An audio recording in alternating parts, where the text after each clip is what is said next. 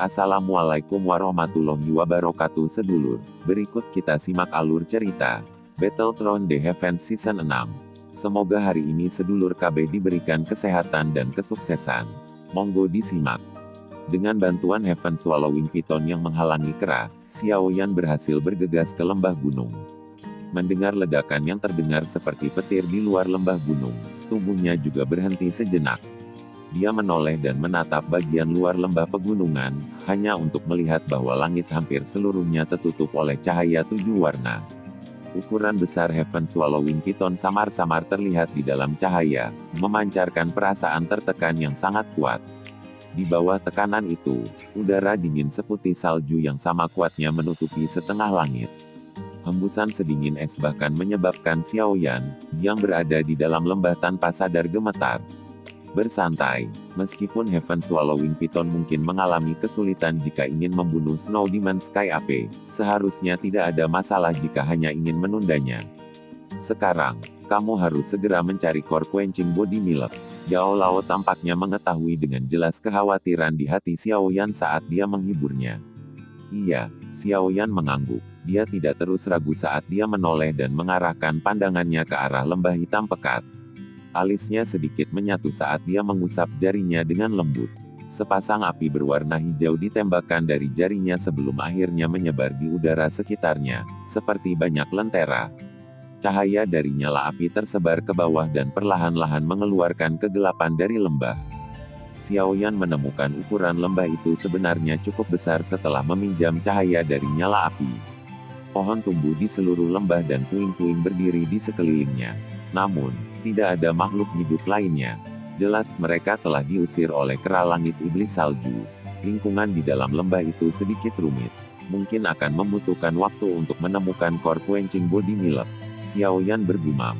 Dia mengepakkan sayap awan ungu di punggungnya saat tubuhnya melayang di udara. Api kecil berwarna hijau itu bergerak bersamanya, bertahan di sekitar tubuhnya seperti pengawal. Xiao Yan memperlambat kecepatan terbangnya saat dia secara bertahap bergegas menuju bagian dalam lembah gunung yang dalam. Area di sepanjang jalan sunyi dan tidak memiliki suara sedikit pun. Meminjam cahaya dari api, dia bisa melihat tulang putih tua yang terbuka. Pemandangan yang terlihat seperti kematian ini menyebabkan rambut dan tulang orang berdiri. Sepertinya manusia bukanlah satu-satunya yang menginginkan core quenching body milk ini. Bahkan beberapa magical beast memiliki niat untuk merebutnya. Xiao Yan tanpa sadar menghela nafas saat dia berbicara dengan lembut saat melihat tulang besar yang jelas bukan manusia. Efek dari mencuci dan memurnikan tulang seseorang yang dimiliki core quenching body milk memiliki daya tarik pada magical beast yang jauh melebihi daya tariknya pada manusia. Jika seekor binatang mendapatkan benda ini, itu akan membuatnya lebih mudah untuk dilatih menjadi bentuk manusia di masa depan. Yao Lao menjelaskan dengan samar. Xiao Yan mengangguk sedikit. Dia tiba-tiba teringat akan ametis winet lion yang dia temui di pegunungan Magical Beast dari Kekaisaran Jiama saat itu. Pada saat itu, orang itu menyarankan pil transformasi tubuh sebagai pertukaran untuk kristal roh valet ketika Yun Yun ingin menukarnya dengan yang terakhir. Sekarang, Xiao Yan bukan lagi pemula seperti dulu. Di jalan seorang alkemis ini, dia sudah mencapai tahap mendapatkan pijakan di jalan. Secara alami, dia memiliki pemahaman yang lebih jelas tentang nilai pil transformasi tubuh. Pada saat yang sama, dia juga mengerti betapa sulitnya bagi Magical Beast untuk melarikan diri dari tubuh monster itu.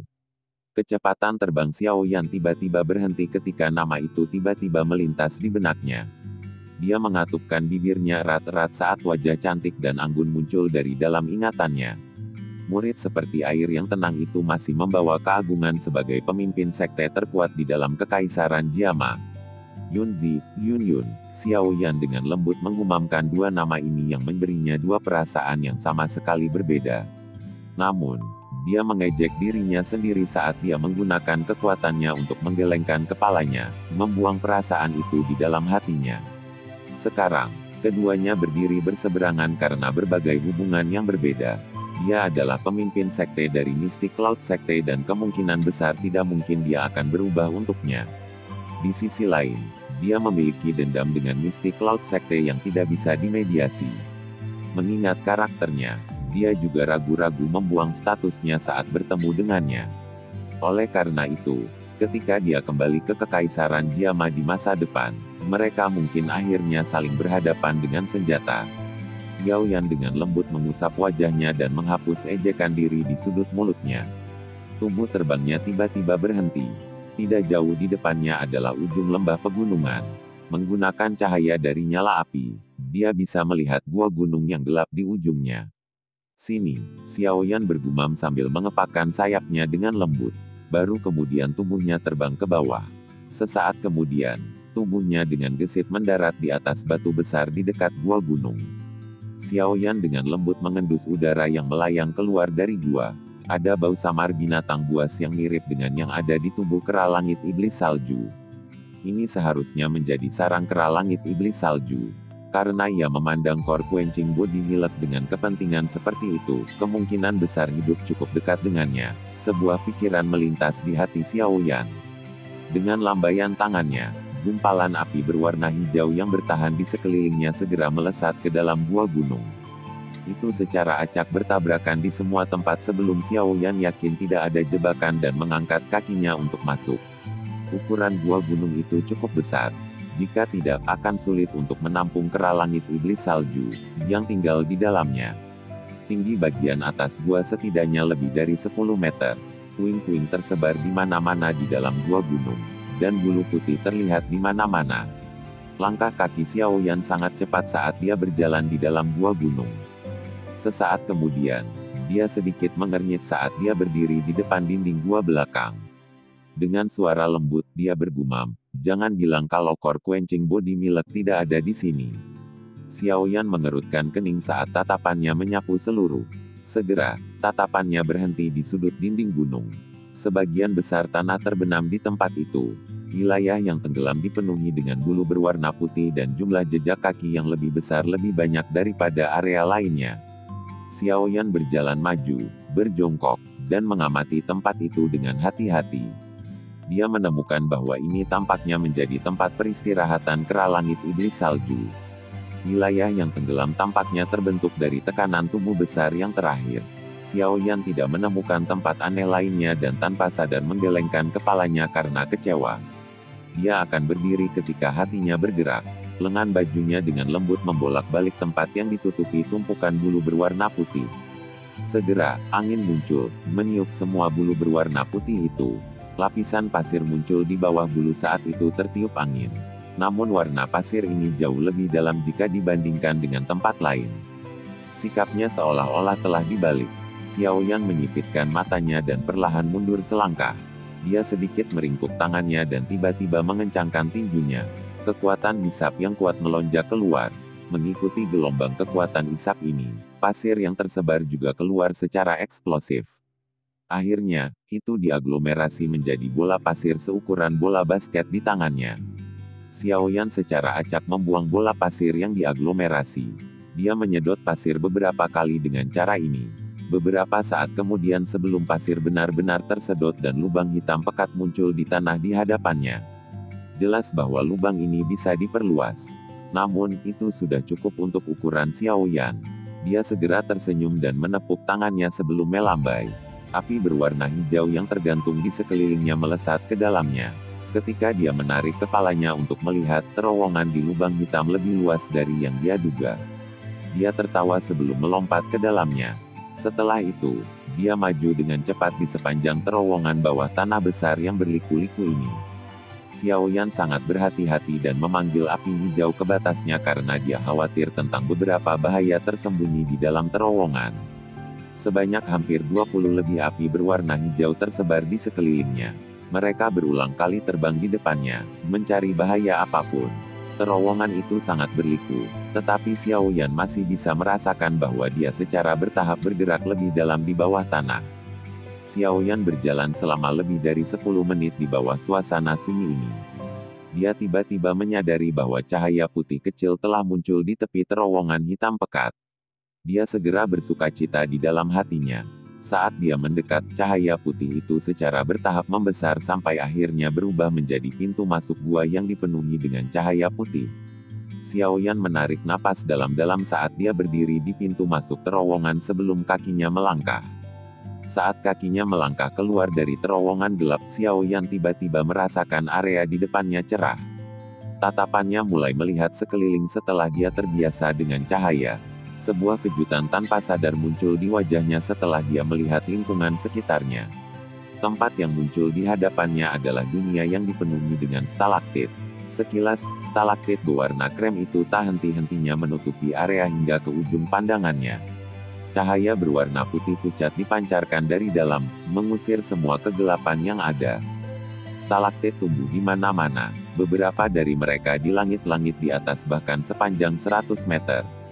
Sekilas, kubah gunung itu seluruhnya tertutup stalaktit yang sangat besar.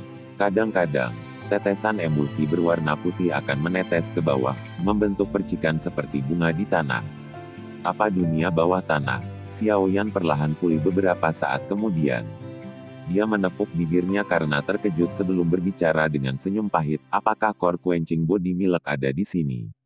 Bagaimana kita bisa mencarinya? Stalaktit seragam ada di mana-mana. Pergilah ke tempat di mana kekuatan tanah terkaya dikumpulkan. Tubuh Yao Lao melayang keluar dari cincin hitam pekat. Jarinya menunjuk ke kiri dan berkata, lewat sini. Begitu dia mengatakan ini, dia memimpin untuk membalikkan tubuhnya dan bergegas ke arah yang ditunjuk jarinya. Xiaoyan buru-buru mengikuti dari belakang. Mereka berdua bolak-balik melewati dunia stalaktit ini selama hampir 10 menit sebelum Yao Lao akhirnya memimpin untuk menghentikan langkahnya. Dia mengangkat kepalanya untuk melihat stalaktit yang sangat besar di depannya dan dia tidak bisa menahan untuk tidak berteriak meskipun dia berpengalaman. Stalaktit di depannya ini berasal dari puncak kubah gunung dan digantung vertikal ke bawah. Ukurannya yang besar setidaknya lebih dari 100 meter, dan diameternya setidaknya dua orang yang berpelukan. Cahaya putih pucat bertahan di tubuhnya, membuatnya seperti pilar kristal. Stalaktit ini tidak diragukan lagi adalah yang terbesar di dunia bawah tanah ini. Ukuran ini seperti kaisar di antara stalaktit, menerima pemujaan stalaktit yang tak terhitung jumlahnya di sekitarnya. Tatapan Xiaoyan berangsur-angsur bergeser ke bawah. Di bawah stalaktit ini ada batu hijau yang sangat besar. Separuh bebatuan hijau terkubur di dalam tanah. Pada saat ini, ada takik yang bahkan tidak selebar satu kaki pun di puncak batu hijau itu. Takik itu secara kebetulan menghadap ke ujung stalaktit di atas. Cairan putih krem sedalam 2 inci memenuhi takik. Mengambang di atas cairan krem itu adalah kabut putih samar yang melayang. Kabut putih cukup aneh. Tidak peduli bagaimana itu melayang, itu tidak pernah tersebar. Xiaoyan menghirup udara segar, dan tulang-tulang di seluruh tubuhnya terasa mati rasa dan perasaan aneh saat ini. Tatapan Xiaoyan menatap tajam ke cairan putih krem di takik. Tenggorokan Xiaoyan berguling tanpa sadar. Kegembiraan melonjak di wajahnya. Di dalam hatinya, dia dengan jelas tahu bahwa core quenching body milk, yang telah dia cari sejak lama tanpa hasil, akhirnya muncul di hadapannya. Selama periode waktu Xiaoyan linglung, kabut putih samar tiba-tiba melonjak dari ujung stalaktit yang sangat besar. Cahaya dari ujung stalaktit secara bertahap menjadi lebih kuat. Saat cahaya melonjak, setetes cairan krem, yang seperti titik cahaya, tiba-tiba menggumpal dan terbentuk. Tetesan cairan ini bergoyang di ujung stalaktit. Akhirnya, dia meninggalkan stalaktit dan jatuh di udara sebelum dengan lembut menghantam takik di puncak batu hijau. Cairan dari stalaktit datang dan menghancurkan, menyebabkan permukaan cairan putih krem, yang hanya sedalam 2 inci membentuk riak. Namun, tidak ada setetes pun cairan yang keluar. Xiaoyan mengamati cairan krim yang berfluktuasi di dalam lekukan kecil seperti mangkuk berwarna hijau tua. Dia tiba-tiba mencapai pemahaman. Takik di bebatuan hijau ini sebenarnya diukir oleh cairan stalaktit yang menetes. Tangan Xiaoyan mengusap batu hijau itu dan merasakan ketegasannya sebelum menghela nafas sekali lagi. Berapa lama waktu yang dibutuhkan untuk mengukir takik seperti itu di bebatuan hijau hanya dengan mengandalkan kekuatan air yang menetes. Ini benar-benar kasus batuan yang menembus air. Jika saya ingat dengan benar, cairan ini sepertinya membutuhkan waktu sekitar satu tahun sebelum dapat meneteskan bentuknya. Saya bertanya-tanya berapa tahun yang dibutuhkan sebelum lubang kecil ini dapat diisi. Yao Lao dengan lembut menghela nafas di samping saat dia berbicara. Dengan pengalamannya, dia tidak bisa menahan napas secara emosional saat ini. Xiao Yan segera tiba-tiba mengerti setelah mendengar ini. Satu tahun untuk setetes. Sungguh tak terduga bahwa tetesan cairan yang sederhana sebelumnya telah menggumpalkan energi murni selama setahun. Alam memang sangat misterius. Guru, ini seharusnya menjadi core quenching body milekan. Mata Xiao Yan langsung menatap cairan di takik saat dia tertawa dan mengajukan pertanyaan. Iya, Yao Lao dengan sembarangan menatap cairan yang mengeluarkan kabut putih aneh dan mengangguk. Xiao Yan tidak lagi ragu-ragu saat melihat bahwa bahkan Yao Lao pun mengangguk. Dia dengan cepat mengeluarkan botol giok dari cincin penyimpanannya dan menuangkan core quenching body milk ke dalamnya. Namun, ketika suara Yao Lao tiba-tiba terdengar di sampingnya, hal itu menyebabkan dia tercengang saat dia menghentikan gerakan tangannya. Benda-benda ini mungkin juga berharga, tapi itu bukan objek utamanya. Ada harta karun unik yang bahkan lebih langka di tempat ini. Yao Lao meletakkan kedua tangannya di belakangnya saat dia berbicara sambil tersenyum. Ada yang lebih langka. Xiao Yan tercengang. Wajahnya benar-benar bingung. Jika orang biasa melihat core quenching body milk, kemungkinan besar mereka akan menjadi seperti Anda, berpikir bahwa hal yang menetes ini adalah intinya. Namun, mereka tidak tahu bahwa mereka telah membuang harta karun terbesar. Kata Yao Lao dengan nada menggoda. Xiao Yan tersenyum malu tanpa bisa membantah klaimnya. Dia benar-benar berpikir bahwa cairan berwarna krem di dalam takik sudah merupakan hal yang paling langka. Tidak berpikir bahwa ada hal lain yang merupakan harta karun yang lebih besar daripada core quenching body milk ini. Ikuti aku. Yao Lao mengangkat kepalanya dan menatap stalaktit besar yang tergantung di kubah gunung. Tiba-tiba, dia melambaikan tangannya ke Xiao Yan sebelum tubuhnya segera melayang perlahan ke stalaktit yang sangat besar. Xiao Yan kaget saat melihat aksi Yao Lao. Dia buru-buru memanggil Purple Cloudwing sekali lagi dan mengikuti dengan hati-hati. Kedua orang itu mengikuti stalaktit vertikal yang sangat besar dan terbang beberapa ratus meter. Beberapa menit kemudian, mereka benar-benar terbang ke puncak kubah gunung. Melihat ke bawah dari tempat ini, stalagmit di bawah, yang muncul cukup besar sebelumnya, seukuran semut pada saat ini. Saat pandangan mereka bergerak ke segala arah, mereka dapat melihat beberapa stalaktit yang tergantung di kubah gunung ke segala arah. Cahaya pucat membawa cahaya ke seluruh dunia. Yao Lao mengabaikan stalaktit di sekitarnya. Sebaliknya, tubuh apungnya berhenti di ujung stalaktit terbesar ini. Di tempat itu, ada cahaya pijar samar merembes keluar dari stalaktit, menyinari stalaktit hingga menjadi seperti kristal transparan, memberikan tampilan yang sangat indah. Xiao Yan juga mengepakkan sayapnya dan datang ke tempat ini. Dia melihat tatapan Yao Lao dan mengikutinya. Namun, dia tidak menemukan tempat di mana ada sesuatu yang salah. Mulutnya bergumam beberapa kali, tapi tidak mengatakan apa pun. Apakah Anda memiliki sepotong batu giok? Gunakan sepotong batu giok untuk menggali bagian ini dengan hati-hati. Ingat, jangan gunakan kekuatan besar apa pun. Jika tidak, Anda akan benar-benar menghancurkan stalaktit yang hanya dapat terbentuk setelah 10.000 tahun. Yao Lao melambaikan jarinya ke ruang kosong di depan stalaktit. Jejak, melingkar, seukuran telapak tangan muncul di ujung stalaktit. Dia mengamati tanda ini sebentar sebelum menoleh ke arah Xiao Yan dan berbicara dengan serius. Meskipun hati Xiao Yan dipenuhi dengan keraguan setelah mendengar ini, dia masih menganggukkan kepalanya. Dia mengeluarkan sepotong batu giok berwarna hijau dari cincin penyimpanannya dan menggunakan douki untuk membungkus permukaannya dengan hati-hati. Setelah itu, dia dengan lembut mengikuti tanda lingkaran yang ditarik jari Yao Lao melewati ujung stalaktit dan memotongnya. Potongan batu giok menjadi sangat tajam karena dibungkus oleh douki. Setelah sentuhan lembut belaka, ujung tajam dari potongan batu giok itu dimasukkan ke bagian dalam dari stalaktit seperti kristal setelah mengeluarkan suara puji yang sangat lembut. Xiao Yan memegang batu giok itu dengan erat dengan tangannya, tidak berani membiarkannya sedikit gemetar. Potongan batu giok itu mengikuti tanda yang digambar Yao Lao tanpa kesalahan saat bergerak perlahan. Bunyi swing-swing yang lembut berulang kali bergema di area yang cukup tinggi. Rak, retakan. Potongan batu giok di tangannya benar-benar memisahkan jarak satu lingkaran. Tiba-tiba, Pecahan stalaktit yang melingkar jatuh dari tubuh aslinya. Mata dan tangan Xiao Yan cepat saat dia meraihnya. Ketika dia mengangkat kepalanya untuk melihat cahaya yang kuat dan tiba-tiba keluar dari pecahan itu. Cahaya yang menusuk menyebabkan dia buru-buru menutup matanya. Sayap di punggungnya dengan cepat mengepak sebagai aksi refleks saat tubuhnya mundur puluhan meter sebelum berhenti. Hehehe, semuanya baik-baik saja. Tidak ada yang perlu dikhawatirkan.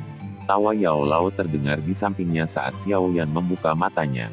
Baru saat itulah hatinya yang tegang menjadi rileks. Dia mengangkat kepalanya untuk melihat tempat di mana cahaya intens ditembakkan sebelum menyatukan alisnya dan terbang mendekat sekali lagi. Saat dia mendekati stalaktit besar ini, tatapan Xiao Yan menatap lubang melingkar yang telah dia potong, hanya untuk terkejut menemukan bahwa sebenarnya ada sekelompok cairan lengket berwarna zamrud yang tergantung di dalam stalaktit. Kelompok cairan ini tampak seolah-olah memiliki kecerdasan. Cairan mengalir perlahan di dalam stalaktit tetapi wilayah tempat mengalirnya secara kebetulan hanya di dalam area di mana bukaan melingkar itu. Itu akhirnya bahkan tidak melebihi di mana garis itu atau tumpah. Meskipun Xiao Yan tidak begitu yakin apa cairan kental seperti zamrud ini, energi murni yang dikandungnya menyebabkan Xiao Yan terkejut. Jenis energi murni ini setidaknya 10 kali lebih kaya daripada core quenching body milk. Apa ini? Xiao Yan menelan ludahnya sambil merasakan kekeringan di tenggorokannya. Matanya mendidih panas saat dia melihat kumpulan cairan lengket berwarna zamrud sambil membuka mulutnya untuk bertanya. Ini adalah core quenching body milk yang sebenarnya. Yao Lao tersenyum dan perlahan berbicara ketika dia melihat sikap kaget Xiao Yan. Cairan di bawah ini bukan. Xiao Yan terkejut saat dia bertanya dengan tidak percaya. Cairan di bawah ini juga adalah core quenching body milk namun, itu adalah hal-hal yang mengalir keluar dari tubuh asli ini. Mereka mirip dengan core quenching body milk yang diencarkan.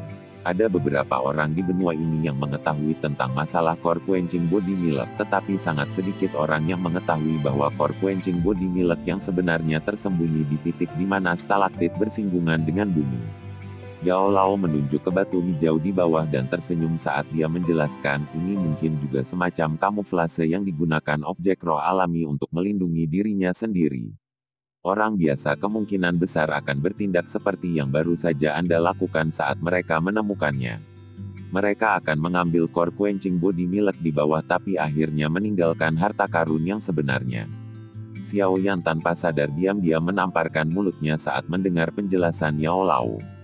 Sungguh tidak terduga bahwa ada dua jenis yang berbeda, yang asli dan yang palsu dalam hal core quenching body milk ini. Ada banyak hal aneh di dunia yang luas ini. Core quenching body milk yang sebenarnya ini sangat lemah. Hanya alat giok paling lembut yang tidak akan merusaknya.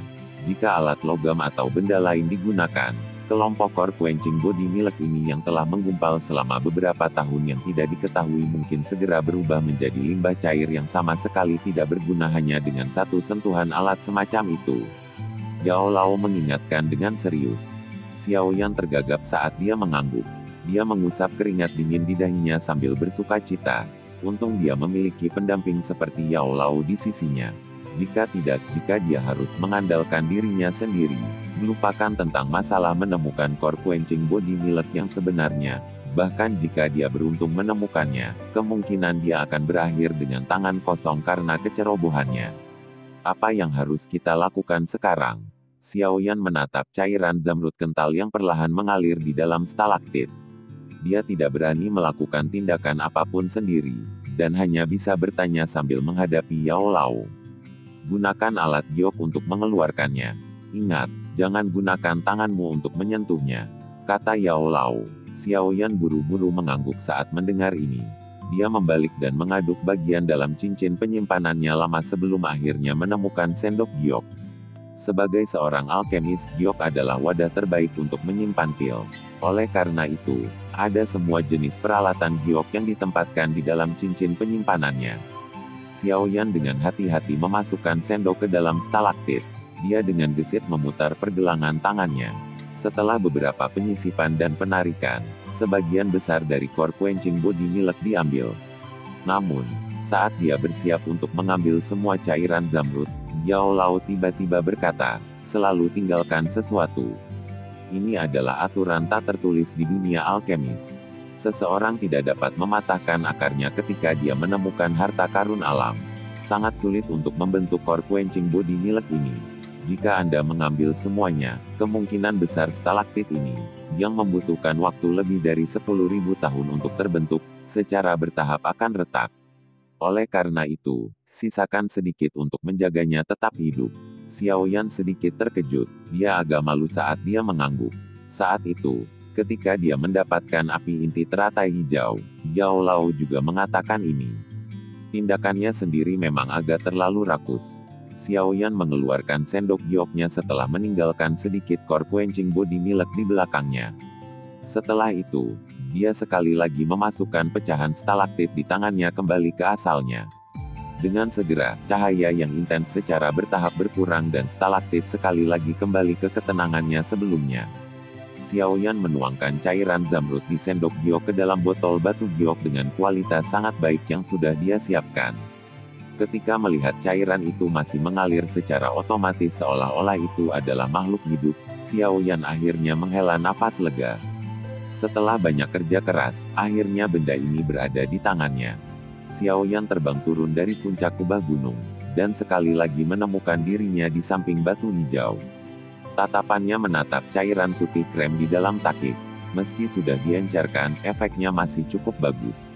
Bahkan jika itu tidak bisa mencapai efek mencuci dan memurnikan tulang, itu juga memiliki efek pemurnian yang cukup besar pada tubuh.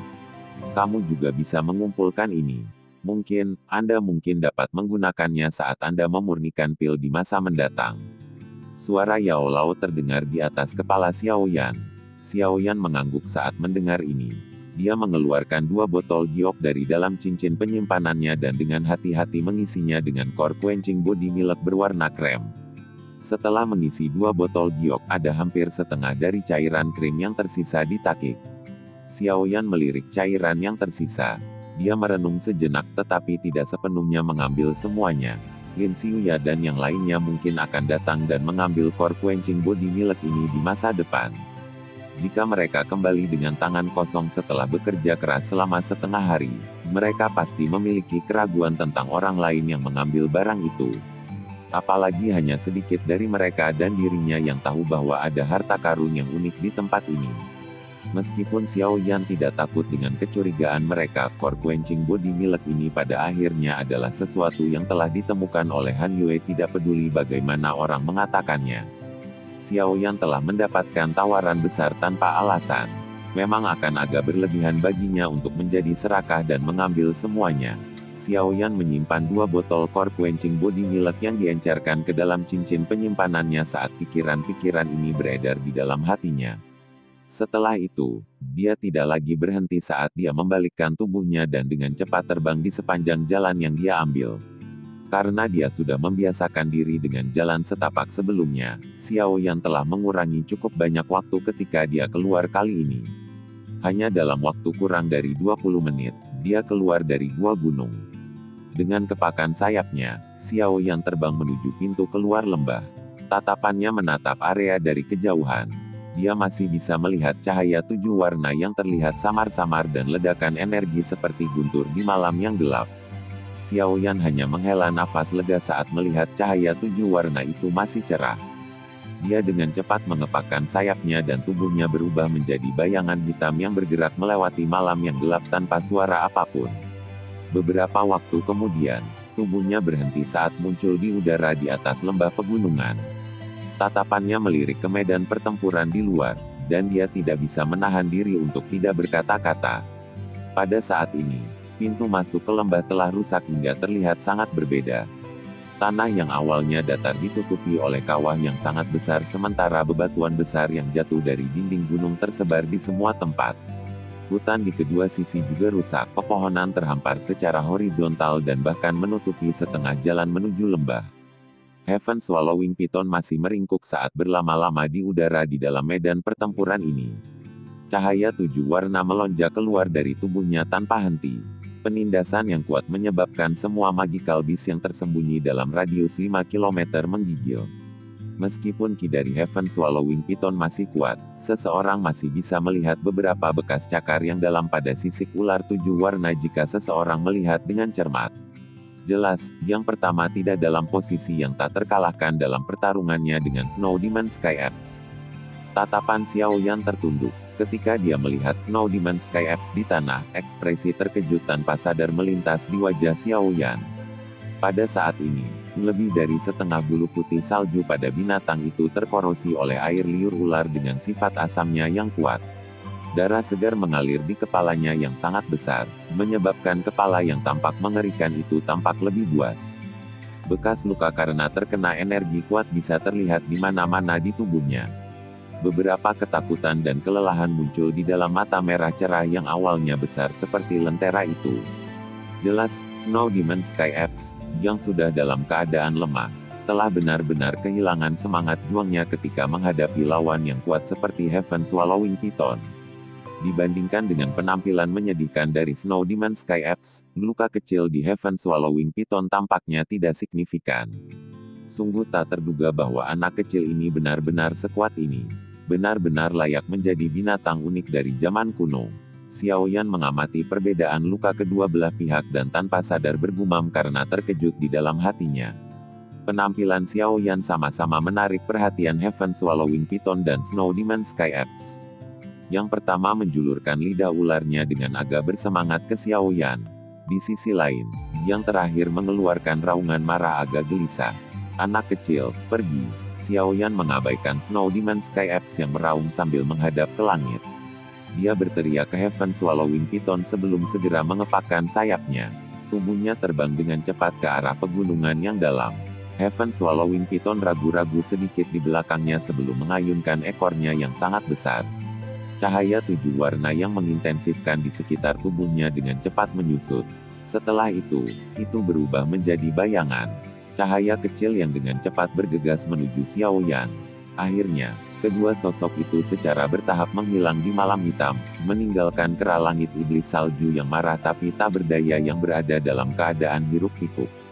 Sosok besar dan kecil tiba-tiba turun dari langit dalam kegelapan malam. Akhirnya, mereka mendarat di puncak gunung. Xiao Yan berbalik dan menatap lembah gunung yang sudah menghilang dari ujung pandangannya. Baru saat itulah dia menghela nafas lega. Xiao Yan membalikkan kepalanya dan menatap Heaven Swallowing Python yang tergantung di depannya. Pada saat ini, cahaya dari sisik tujuh warna diam-diam menjadi redup. Dari kelihatannya, kelelahan dari pertarungan intens dengan Snow Demon Sky Apes sebelumnya sangat hebat. Tangan Xiao Yan dengan lembut mengusap kepala kecil dari Heaven Swallowing Python. Dia mengeluarkan sebotol ametis essence dari cincin penyimpanannya dan tersenyum saat dia berkata, Ayo, anak kecil. Anda telah melakukannya dengan baik malam ini. Kali ini, saya akan membiarkan Anda makan sampai Anda kenyang. Jika itu di masa lalu, kemungkinan Heaven Swallowing Python akan segera menerkam ketika melihat Xiao Yan mengeluarkan Amethyst Essence. Namun, Heaven Swallowing Python anehnya berhenti di udara tanpa bergerak. Sepasang mata ular yang menyihir melirik Xiao Yan. Sama seperti perasaan ada sesuatu yang salah muncul di hati Xiao Yan. Suara sedingin es tiba-tiba keluar dari mulut Heaven Swallowing Python. Kamu benar-benar memperlakukanku sebagai hewan peliharaan untuk dibesarkan. Suaranya mungkin sedingin es, tapi itu berisi perasaan mati rasa yang menyebabkan nyala api yang jahat muncul di hati Xiao Yan. Sama seperti nyala api yang jahat naik di perut bagian bawah Xiao Yan, dia tiba-tiba merasakan hawa dingin merembes keluar dari hatinya. Matanya tiba-tiba menatap Heaven Swallowing Python di depannya, dan dia tertegun sesaat. Tubuhnya buru-buru mundur dalam masalah seperti kilat saat dia berkata dengan kaget, Ratu Medusa. Selama waktu Xiao Yan bergegas kembali, Heaven Swallowing Python sekali lagi memancarkan cahaya tujuh warna samar tubuhnya juga berangsur-angsur bergerak. Sesaat kemudian, itu berubah menjadi makhluk yang mempesona dan memikat yang pada dasarnya bisa menyebabkan seseorang berubah menjadi binatang buas.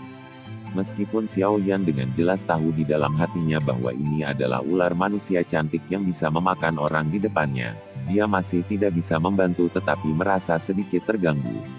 Namun, perasaan yang terganggu ini segera menghilang ketika sepasang murid seperti es yang ingin menoleh, hanya menyisakan kewaspadaan dan kewaspadaannya. Tatapan Xiao Yan akhirnya berhenti pada wajah menyihir sedingin es, yang tidak dapat ditemukan kekurangan apa pun. Dia tertawa datar, hanya untuk menyadari bahwa suaranya berubah agak serak. Yang mulia, kebetulan sekali. Kita bertemu lagi. Salam yang sangat bodoh itu cukup untuk menunjukkan tingkat kecemasan yang dirasakan Xiao Yan di dalam hatinya. Ketakutan yang dia miliki untuk wanita di depannya ini bahkan lebih kuat daripada yang dia rasakan untuk Yunsan dari Mystic Cloud Sekte. Kebetulan sekali. Namun, saya harus berterima kasih untuk itu. Jika Anda tidak membiarkan Heaven Swallowing Python bertarung dengan Snow Demon Sky Apes dan menghabiskan banyak energi dalam prosesnya, saya masih akan tertekan olehnya. Ratu Medusa melirik Xiao Yan. Sudut mulutnya yang ramping dan merah terangkat dengan sikap mengejek. Xiao Yan membuka mulutnya dan tidak bisa menahan diri untuk tidak berpikir untuk menamparkan dirinya sendiri. Tidak disangka pelakunya adalah dirinya sendiri. Sudahkah Anda mengumpulkan semua bahan obat untuk memperbaiki tumpahan roh mencair?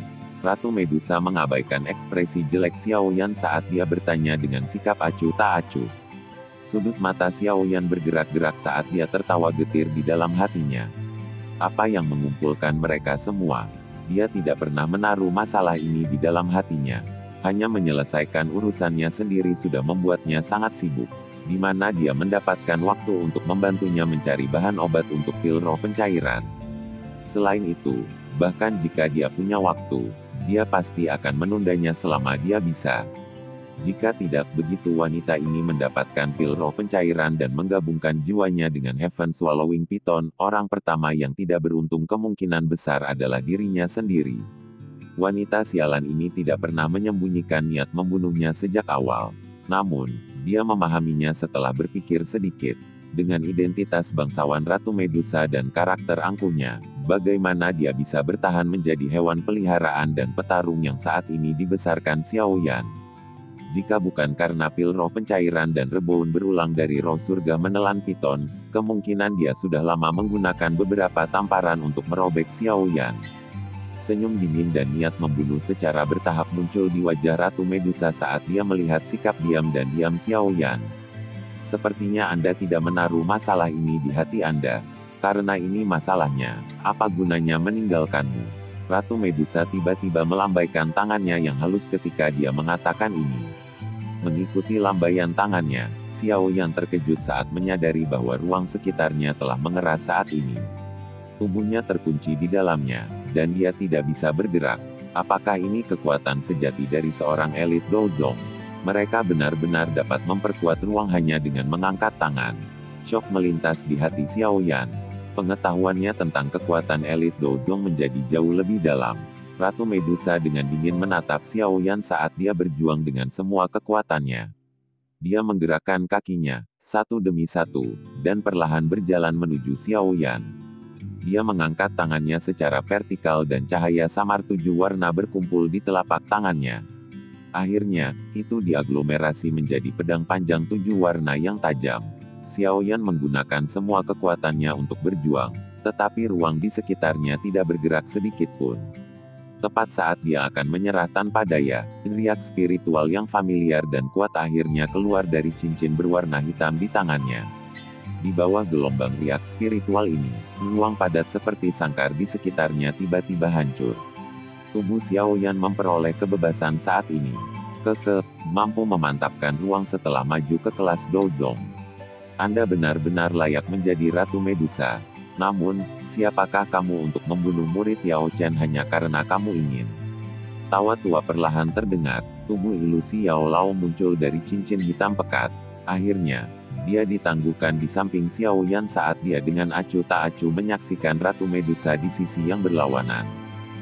Sekian dulu alur cerita Battle Through the Heavens Season 6. Tunggu next episodenya. Mohon sodako subscribe, share, like, dan komennya agar Mimin lebih semangat untuk uploadnya. Semoga kebaikan sedulur KB dibalas oleh Tuhan, dan semoga hari-hari sedulur KB menyenangkan. Semoga kesuksesan selalu menyertai sedulur semuanya. Terima kasih.